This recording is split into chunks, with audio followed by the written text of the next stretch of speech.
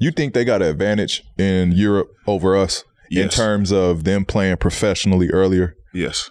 You did. They. I feel like they.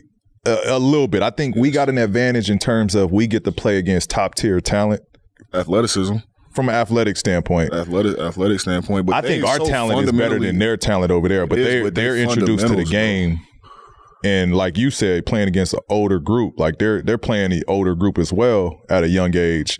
So I, that definitely got something to do with their development. You know how it is, bro. Like when you go from college to the pros, and that's your job, and that's what you do. Mm-hmm. You spend the time doing that is is different. Mhm. Like they just, I feel like they fundamentals over there.